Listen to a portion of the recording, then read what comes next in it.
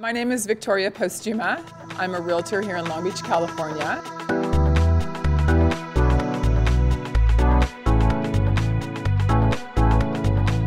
I've lived here for over 25 years, raised two sons here as a single mother, and I've been a realtor for almost 11 years.